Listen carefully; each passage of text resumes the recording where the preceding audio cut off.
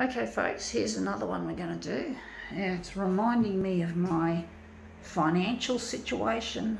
I've gone broke. To, this morning I tried to buy something and I got declined so I'm not looking too good at the moment even though the good thing is it's a sat Sunday and I, I've still got enough money on my Opal card so I can get to my job so I can shake off these these this low budget that I've got. Um, it's really difficult um, trying to use my talent here because it's costing money. It's not actually pulling any profit. It's, it's making me lose money heaps. And I'm just hoping that my stuff will have a place. I'm not, I've never been you could say I've never been lucky when it comes to making money and using my talent. I've done some really nasty things when I was young and it fucked me up. So we're photocopying this. I'm in, you could say I'm in the red. Uh, okay, red dress, red budget, not looking too good, not a very good feel. Um, so we're just going to put it on the glass like so.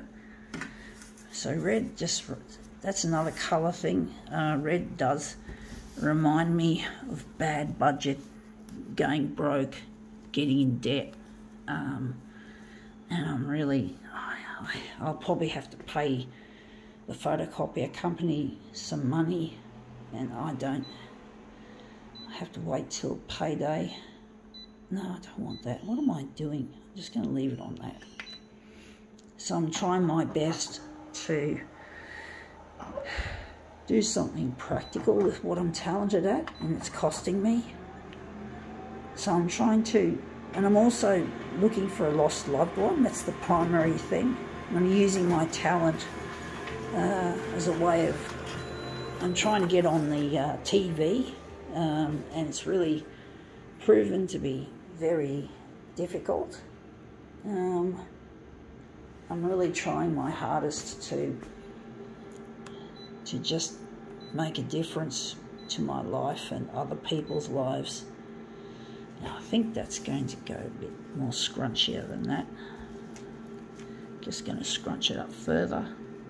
But I really miss my partner and I'm putting all my effort into finding him so he's into photocopiers as well so I'm trying to get on the news the primetime news in the evening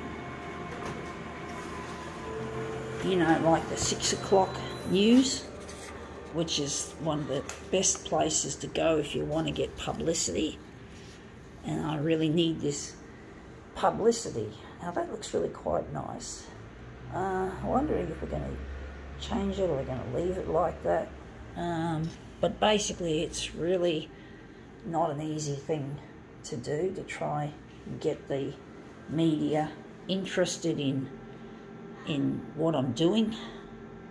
It really proves to be difficult, but I'm trying my hardest and despite not having much in the way of money, I'm actually going to pull that up. I'm going to just drop the dock feeder on it, crunch it, squash it closer. It's a bit dark, but basically it's really a challenge trying to get these news entities interested in my work.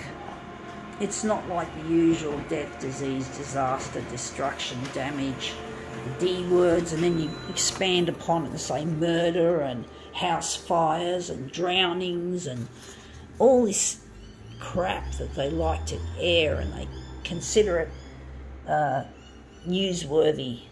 I'm just wondering which one looks. I think we can go with that. It looks much the same like I haven't got much difference. But it really gets a bit uh, monotonous when you hear about these news items being the way that they are, the negativity and the horror. You know, it really isn't worth it, but they they insist on it anyway. It's a part of the culture of the, the media is to report on shit over good things. They, they prefer to I'm just wondering where the centre of this job really is. I was thinking it was going to be there, but I'm actually thinking that's a good question. Um, wondering where it's going to be. But I really get worn out by how the news just doesn't seem to want to add, try new things. Yes, they occasionally put some positive things in, but it's usually near the end of the bulletin. Right near the end of the fucking bulletin. This stuff has got to be at the front of the bulletin. It's got to be right at the top.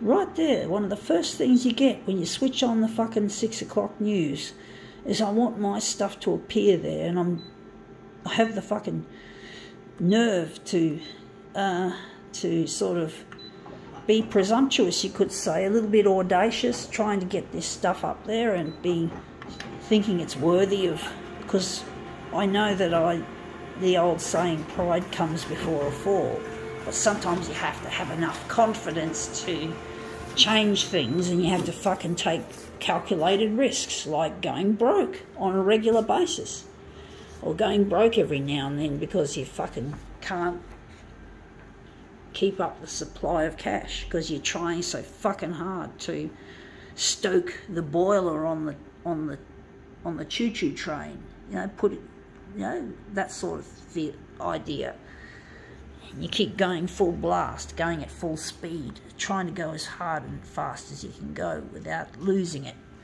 Anyway, that looks really quite nice. I think now we can call this demo quits.